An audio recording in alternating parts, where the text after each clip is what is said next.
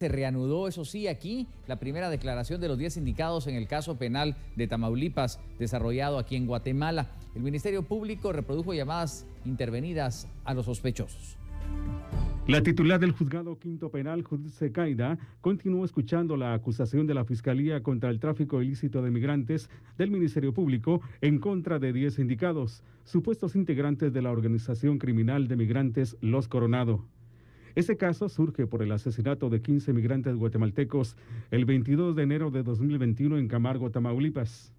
El jefe de la Fiscalía, Estuardo Campos, presentó el método especial de llamadas telefónicas intervenidas para demostrar cómo los coronados coordinaron el traslado y los pagos acordados para llevar a los connacionales a Estados Unidos. Añadió que Oscar ya había conseguido a dos personas.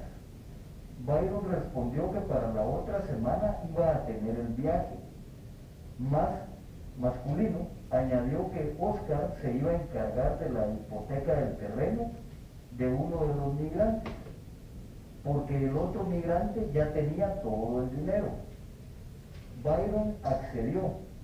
Masculino posteriormente indicó que Jairo le había dicho que ya tenía a otras dos personas según la pesquisa del Ministerio Público, los coronados cobraron de 90 mil a 120 mil quetzales a cada migrante con la promesa de llevarlos a Estados Unidos.